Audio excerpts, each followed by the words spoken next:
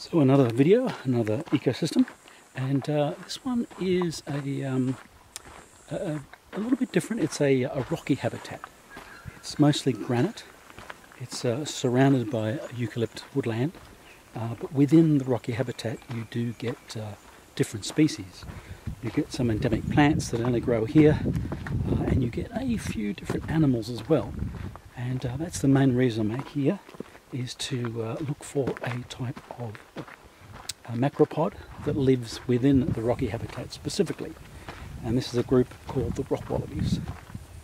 Uh, there are, of course, many different rock wallabies across the continent, and uh, this is one that I haven't seen before. This one is called the brush-tailed rock wallaby, and it's one of the more southerly species. So rock wallabies normally um, like most Australian mammals, sleep during the day, or at least rest during the day, and then they generally don't come out except um, at night time and uh, first few hours of the morning and last few hours of the day, generally to feed.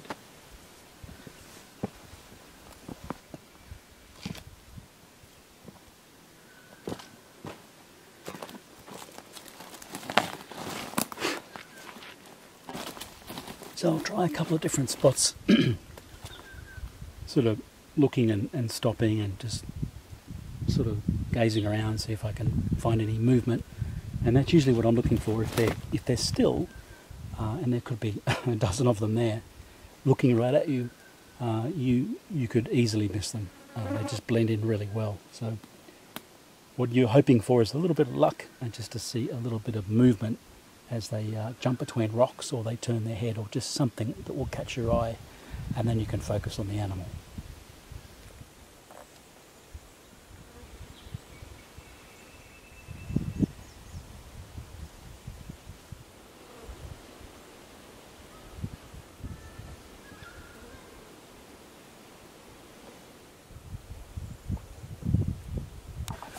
I've come to this area because it's known for its uh, brush-tailed rock wallaby um, population, but I haven't seen one yet and uh, I'm not really sure if they're here, but I now know that they are because one of the essential signs of rock wallabies that you always look for is their um, scat.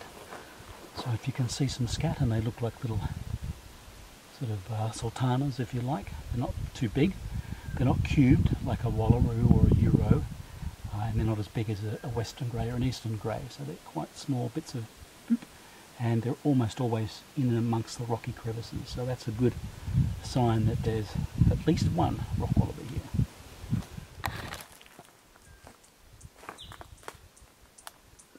Okay, so we're pretty lucky.